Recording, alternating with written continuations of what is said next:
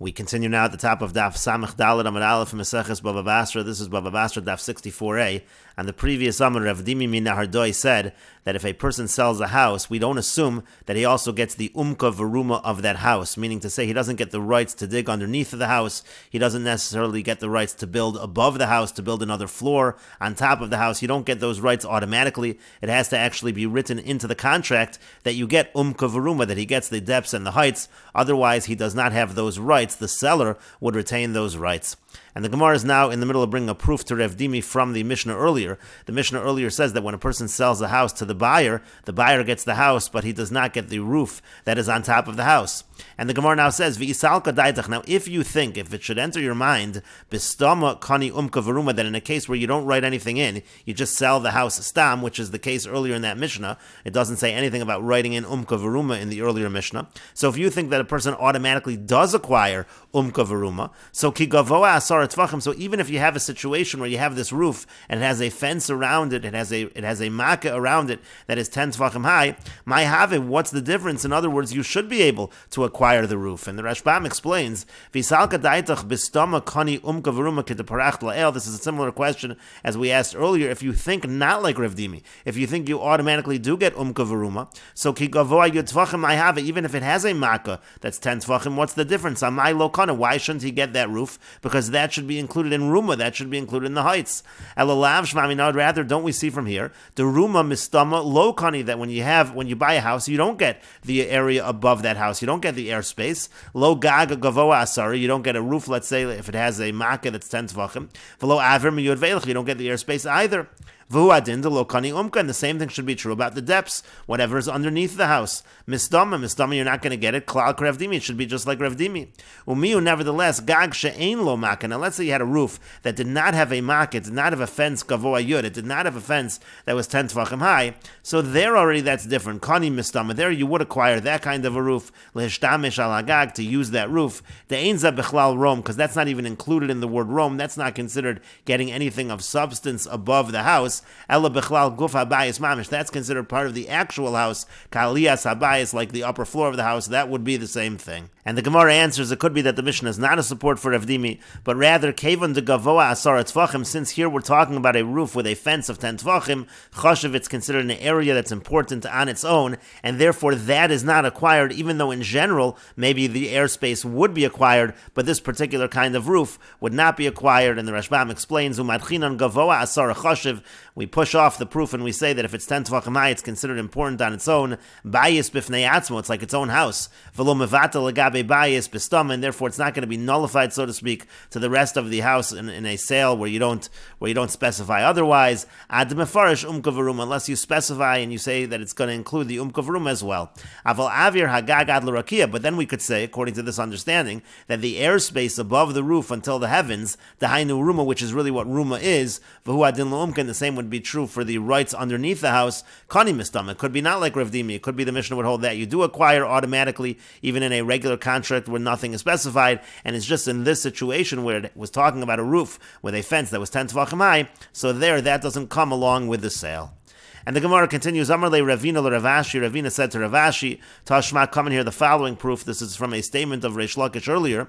The Amar Reish Lakish, because Reish Lakish says, Zos Omeris, this proves, Hamocher Bayis L'chaver, if somebody sells a house to his friend, V'yamar Lo, and he says to the buyer, Al Menas Shedioto Eliona Shali, that I'm selling you this house, but it's on the condition that the upper story is mine, that that continues to belong to the seller. So Dioto Eliona Shalo. So we say over there that the upper story does in fact continue to belong belong to the seller. When Reish Lakish made that statement, we asked in the Gemara earlier, what practical halach is he talking about? And there was a machlokas amoraim how to understand Reish Lakish. Rav Zvid Amar, Rav Zvid says, Shim lahotzi baziz and motzi. What it means is that the seller now has the right to, to take zizin, projections, and he wants to put them out from that upper story over the chutzner of the buyer. He's allowed to do that. That's the right that he's retaining. Rav Papa Amar, Rav Papa says, Shim livnos aliyah al gaba, that if he wants to build above, if he wants to build an upper floor, so Bona he's allowed to, build it. And the Gemara now says, Visalka daitach bistama lokani. Now, if you're going to say that in a general sale where nothing is specified, so he does not acquire, so lomali almanas, why do we need the specific condition almanas that I have these rights? Automatically he has those rights. What's the almanas even helping for? And as the Rashbam will explain, we're asking specifically within Rav Papa. Rav Papa is saying that when he says almanas shadiyoto el shali, what it gives him the right to do is it gives him the, the right to build above the house, but that should be automatic because the buyer does not have that right automatically, which means the the seller does. Why do you have to say the words almanas to get that right? And the Gemara answers, as we mentioned this earlier, ahani le almanas. The almanas helps the inafil hadir banila. What it means is if it falls, then he's allowed to rebuild it. That's what the almanas is doing in this case. And the Rashbam explains Tashma coming here proof the Yom Reish Lakish because Reish Lakish says Midra Papa Makshi. The Rashbam says we're asking from the Rav Papa version of Reish Lakish, meaning again Rav Papa explains Reish Lakish to mean that now the seller is allowed to build above the house, and the Rashbam explains Yamrid Bishlama de Mistama Kani Lokeach Now, if you're going to say that automatically when you have a sale, the Lokeach, the buyer is the one that has the rights to the Umka and the Ruma, uh, he has the rights to the area below and the area above. Then it would make sense to say that the specific condition in this case, where he says almanas, the seller says that he's keeping the diota Yona, that would make sense in the way that Rav Papa explained it. That let's say the seller wants to build up, he wants to build above this story. He wants to build more upward above the house, bona, then he has that right to build. And that's why he needs to make that condition, because if he doesn't make that condition, then it would be the buyer that it would have the rights to that area above the diota, mistama, with any sale, even if there's nothing nothing specified. Kona because then we would say that the heights, the airspace above the house, the buyer gets in all situations, even in a regular sale. Even if the upper story belongs to the seller, the buyer still has the rights to the ruma. So if you say the buyer has the rights, it makes sense that the almanas is adding that right now to the seller, which the seller would not automatically have. But if you're going to say that in general, in a general sale, the buyer does not get the ruma, meaning if you're going to say, like Rav Dimi Minahardoi said, that the buyer does not have that rights, that right automatically, it's automatically the right of the seller in a standard sale. So Lamali Almanas, so then what's the Almanas adding? The seller already has that right. Maya Hani Tanai Hamiyusar, what do you need this extra condition for? This extra stipulation? Below Tanoi Nami Havikani Mocher Lidioto El Yona Ulurumo Shalbais. Without the stipulation, the seller would also get the upper story and he would get the rights to the airspace above the house. Vim Hayarotza Livnos born if he wanted to build, he can build. This right now, the one asking the question in the Gemara understands Rav Papa in this fashion, and now we're going to revise Rav Papa to the understanding we had earlier when we brought Rav Papa. Here's the text we have in the explanation of Rabbeinu Chananel. The Naf Lahadr. What's actually going on according to Rav Papa is the seller is retaining the right to the right to rebuild the upper story if it falls. Liola mistama, meaning you can say that really in a general sale, lo kani lokeach ruma, the buyer will not have the rights to the airspace. At least if you're going to say that, so then what do you need the extra words here for? What are they helping for? If automatically the seller has these rights, they help for the following. The inafla diota, we're talking about, let's say that upper story, which he says that he's keeping that upper story for himself, let's say that falls, hadr banila. So then he's going to be allowed to rebuild it. The Rashbam says, I already explained this earlier. The Rav Papa lav bebinyan al gabi diota iri. Rav Papa is not talking like we just thought above. He's not talking about building above the upper story. Ela bebinyan diota atzma imtipol. He's talking about rebuilding the diota if it falls down. Shitas shmuazos be'enai. The Rashbam says it seems that that's the way to explain it. That's what it appears to me. There are other ways to explain the Gemara. But those do not have substance. And the Gemara continues with the Mishnah, Loes Habor veloes Hados. When a person sells a house, it does not automatically include the pit and the cistern. That's not included in the sale. Afal Pisha Kasav Lo And even if he writes in the sale that he's including Umka Veruma, the depths and the heights, it does not automatically include the bore and the dose. And the Rashbam explains, Shakasav lo umka veruma, kidu ukma Ravdimi begamar leil. This is like Ravdimi explained in the Gemara earlier.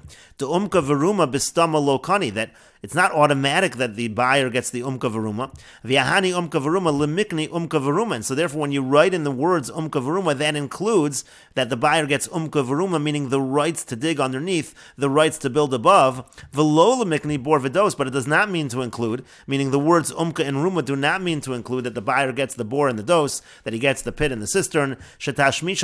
Min because those have a different use in the house. Because those are used primarily to draw water, and so therefore, again, those are not included. And the Mishnah continues, V'tzarech likach lo derech divrei Rabbi Akiva. According to Rabbi Akiva, he needs to purchase for himself a path. And the Chachamim say he does not need to purchase for himself a path.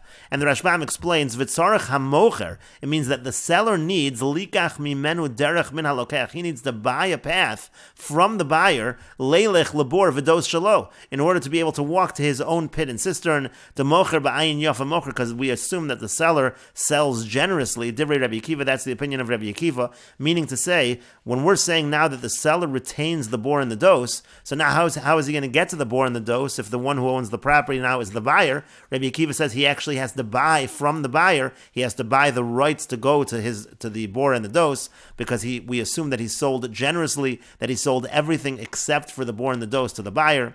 For Rabbanan Svirlu, but the Rabbanan they hold the mocher ba'ayin ra mocher, that when a seller sells, he is stingy in his sale. V'shayir derech la'atzma, so he automatically retains for himself the rights to the path, mimasha mocher from what he sold, and so therefore not only does the seller retain the bor and the dose, according to the Chachamim, according to the Rabbanan, but he also retains the derech automatically, he retains the path to the bor and the dose as well. And the Mishnah continues, Umoder Rabbi Akiva, and Rabbi Akiva admits, Bizman sha'amar lo, in a situation where he says to him, where the seller says to the buyer, chutz me'elu, that I'm selling with the exception of the bor and the dose, he specifically says, I'm not giving the bor and the dose. So then already, since he added that language, he admits she'ein sarach likach derech. Then the seller does not need to buy back the path to the bor and the dose. It's automatic. When he's saying that I'm specifically excluding the bor and the dose from the sale, he's also giving himself the right to the derech, to the path to that bor and the dose. And the Rashbam explains, Bisman le chutz me'elu. If he says to the buyer, with the exception of these, chutz mi bor v'dos, meaning I'm saying that I'm not selling you specifically the bor and the dose, so tanai shalo litzorachu. He didn't need to put that stipulation in. Sharei enon bechlal bayis. They were never included in the sale of the house in the first place. Ela l'tefuye mil sakasi v'shayir lo derech. And rather, the reason why he's adding those words is because he wants to add rights for himself. He wants the derech as well. Well, rabbanon lo asa l'tefuye klal. Now, according to the rabbanon, it's not adding anything, these words. Without that already, he has the derech, he has the path. Well, the ravcha the milsa amar kain. The reason why he's saying it is just to ensure that there's no arguments over this. Shalo yomar halokech kol machartali. That the buyer shouldn't say you sold me the whole house. V'lo ikaf the derech. You didn't hold back for yourself a path. Shein kol mochrin bekiin bedinin. Because not everyone who sells knows all of the laws. V'hilkach pirish kol kach. And that's why he explained specifically something that didn't necessarily need to be explained. And the Mishnah continues, Machran la'acher. Let's say a person sells to somebody else the bor and the meaning to say the person who owned this entire property, he's keeping everything for himself and just selling the pit or the cistern to a different buyer. So in that situation, does the buyer automatically get a derech or not? So that's a machlokas again. Rabbi Kiva Omer, Rabbi Kiva says, likach lo derech. The buyer does not need to buy a path for himself. It's automatically included in the sale because according to Rabbi Akiva, the seller is selling generously. The Chachamim say, no, tzarech likach lo derech. The buyer has to pay an additional amount if he wants a path to the bor and the dose because we do not assume that the seller is selling generously. And the Rashbam explains, Machron labor vidos la'acher. If he's selling the bor and the dose to someone else, v'habayis ikev le'atzmo, he's keeping the house for himself. Rabbi Kiva Omer Ein Sarach Likach Loderech. Rabbi Kiva says the buyer doesn't need to buy the rights to the path Labor Vidos to the pit or the cistern Shekana which he bought. The Mocher buying Yafa Mocher Lo because according to Rabbi Kiva again we assume that the seller sold generously. And the Gemara says Yosef Ravina v'Kakashale Ravina was sitting and he asked the following question: Hainu bor Hainu dos isn't a bor and a dos isn't it essentially the same thing? A bor is translated as a pit, a dos as a cistern. Amarle Rava Tosva Ravina Rava Tosva said to Ravina Tashma come near the following proof The Tanya, because we learned in a brisa, echad habor v'echad hados bekarka, both a bor and a dos, they're both dug into the ground. Elisha habor bechafir, the difference is that a pit is something that is just dug. V'hados bebinyan, but by the dos you have to build as well, because otherwise the dirt is going to absorb all of the water that it is supposed to hold. Yosef Ravashi v'kakashale, Ravashi was sitting and he asked, again, hainu bor, hainu dos, isn't bor and dos the same thing? Amar le Mar Kashisha, Brei D'Rav Chisda, Ravashi, Mar Kashisha, the son of Rav Chisda, said to Ravashi, Tashma, coming here the following proof, the Tanya, because we learned in a brisa, Echad habor v'echad hados bekarka, both a bor and a dos, they're both dug into the ground. Elisha habor bechafir, the difference is that the bor that is dug of hados bebinyan, but by the dos it also involves building. And the Rashbam explains, Hainu bor v'hainu dos, a bor and dos is the same, meaning Ezehu bor v'ezehu dos. What's the difference? V'aloein heker bein zelozeh, there's no real difference. Sheshnein amukin bekarka, both of them are deep in the ground. V'yesh ben mayim mechunasim, they both gather water. V'lamali lemisnitarti, why do we have to learn both of them? It seems to be the same thing. And the Gemara answered, Bechafira means to say a bore is Bechafira, Bekarka Kosha, meaning you're digging it in land which is hard, the earth is hard. Shemachzik Mayim Below Binyan, therefore it's able to hold the water. You don't have to add anything. You don't have to build anything over there. You just pour the water in. But Bebinyan, but a dose is Bebinyan, it's built, meaning Chofrin Bor Ba'afar Tichoach, meaning when you dig, you're digging in loose loose earth. Ubonin Lokosa Lavonim, so you have to build a wall of stones in order to retain the water. Umikri dose, that's called a dose. And the Rashbam further explains, Vihilkach, and therefore a ton of. Let's say we only taught in the Mishnah the case of bor. Hava mina hani mili bor shu. I would think maybe that's only true by a bor, which is dug. That's not included in the sale. Avol dos shu bebinyan, but by a dos, which is built, ke'ein habayis, that's already similar to a house. Hareu bechlal bayis, maybe that is included in the house, it's included in the sale. Vitana dos, and let's say the Mishnah only taught the halacha by dos, mishum de binyan bifnei because that's its own binyan, so maybe it's not included. V'chashav, because it's considered important on its own, it's not included. Avol bor, but if it's just a pit which was dug, lo chashav, maybe that's not important. V'livatal gabi bayis, therefore it's nullified to the house, and maybe that would have been included in the sale. And so tzricha, that's why it's necessary to teach both cases. And the Gemara continues at the two dots, V'tzorach likach lo derech. Again, in the Mishnah, Rabbi Akiva said that the seller, when he's selling everything which does not include the bor and the dose, he's retaining for himself the bor and the dose, but he doesn't automatically retain for himself a path. He has to buy the path to the bor and the dose. V'chachamim omrim eino tzarach, and the chachamim say he doesn't need to buy it, it's automatic. If he retains the bor and the dose, he retains the path as well. And the Gemara says, my love, is it not b'hakam that they're arguing in the following, and we will continue with this discussion in the next video on Daf Samech Dalid Amid Beis.